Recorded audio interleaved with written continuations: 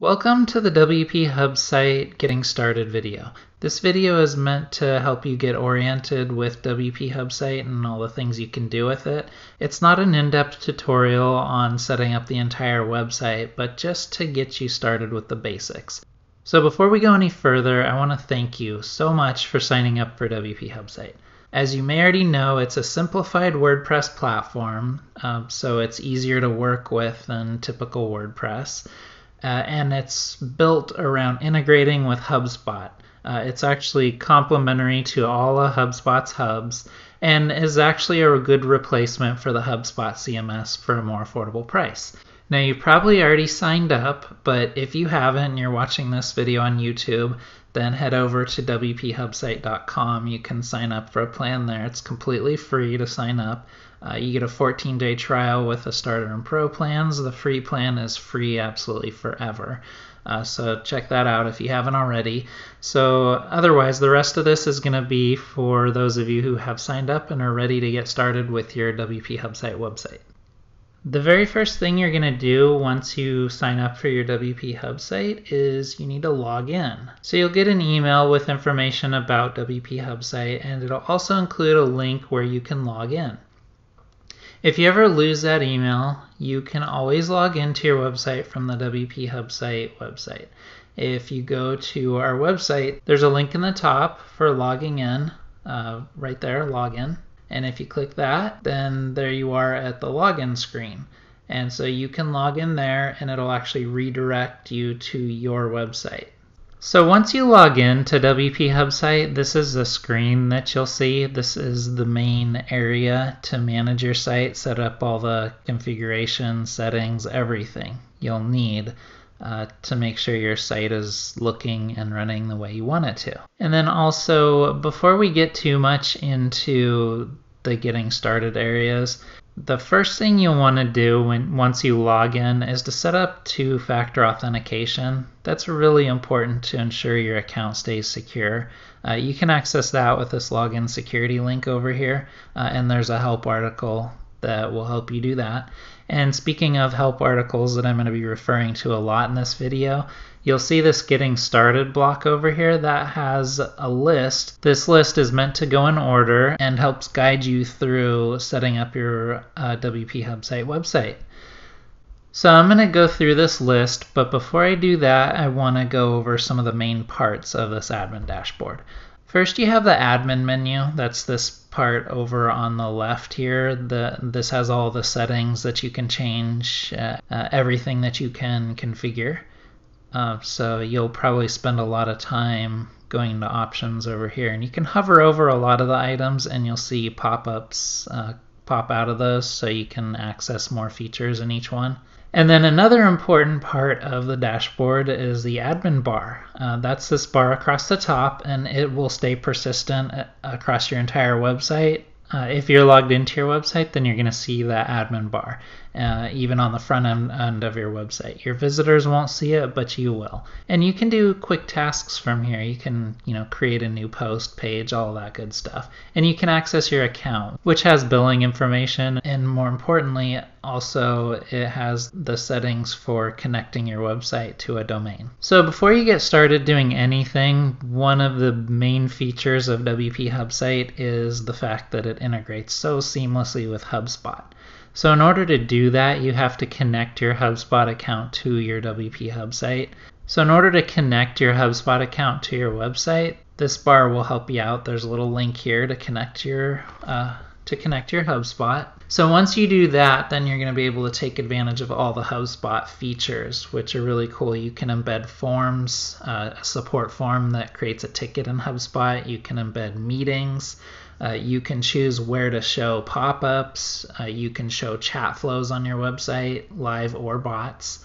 So you can view lead paths also, which if somebody fills out a form on your website, then that lead will actually be tracked throughout your website, what other pages they visit, other forms that they fill out, any action they take on your website. Uh, the next thing you're going to want to do is update your WordPress settings. There's a lot of really important settings to set up in WordPress. And of course, there's a help article Uh, for that, you can access all your settings over here on the sidebar in settings, and there's general writing, reading, discussion, all these. And you'll want to be sure to go through all these settings that are mentioned in the help article. Now the next thing after you get your settings all taken care of, you definitely want to configure how your website looks. So you can use the WPHubSite theme and design it the way you want to design it. You can access that by hovering over appearance and clicking customize. That's going to bring you actually to the front end of your website where you'll get to change all kinds of settings and see them take effect in real time. It's really cool. Uh, one of the first things you'll also want to do is create pages for your website. Without pages, then you don't really have a website. Um, just to help clarify some terms that WordPress uses, there are pages and there are posts. Pages are regular evergreen pages on your website, like the home page, contact page, things like that. Posts are blog posts. They're usually time bound, they have a published date, and they go in your blog archive. So they function a little bit differently, um, but you can create both in the admin bar right up here. If you hover over new, you can create a post or a page, among other things.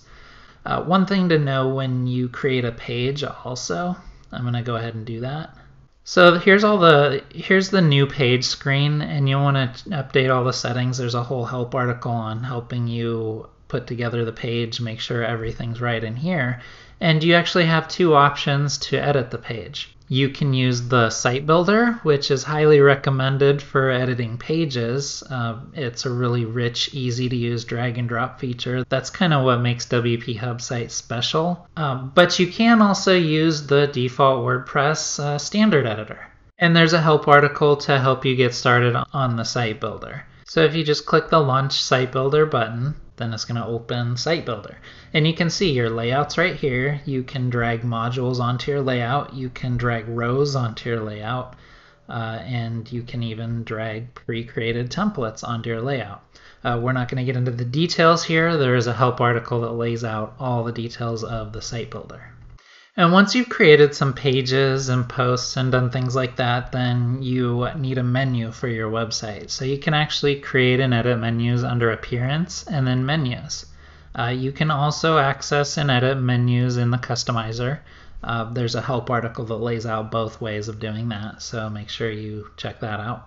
And another important thing that you want to update before you start going too far into your website is the general SEO settings. That's over here in the menu you can update all kinds of different parts of your SEO. Um, that's going to help your website work better for search engines. And there's a detailed help article that goes into absolutely everything you need to know about that. So, one thing I didn't cover before about the admin bar up here, this top one, is that it changes depending on where you are on the website. So, you can notice I'm on a page right now and there's more options. I can actually edit this page.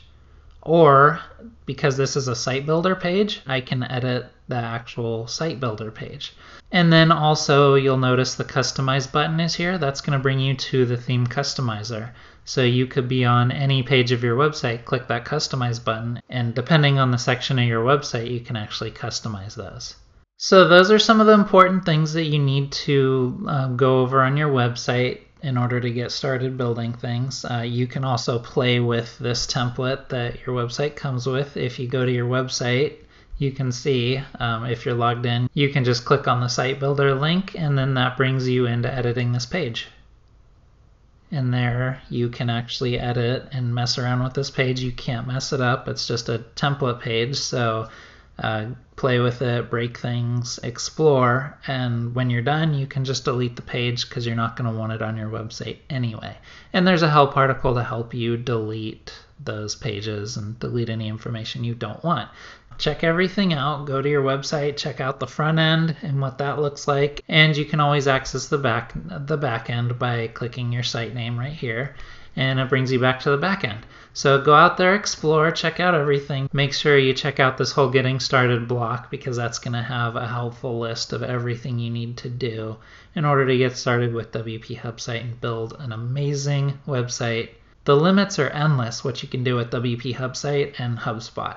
And then if you need help or have any questions along the way, you can always contact support or access help articles from right in your dashboard. That'll bring you to the WPHubSite website where we're constantly putting out new content to help you uh, build better things with WPHubSite. I hope you found this getting started video helpful and I really look forward to see what you create with WPHubSite. Thanks for watching. Bye.